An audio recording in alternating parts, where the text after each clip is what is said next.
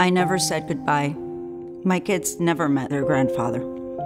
And this is the last photo I took with my father because he was killed by a criminal with a gun. So when I tell you I'll stand up to the NRA to protect our community, you can believe me. I'm Debbie Mucarsel Powell. I'm running for Congress, and I approve this message because no one should have to say goodbye to a loved one with a photo.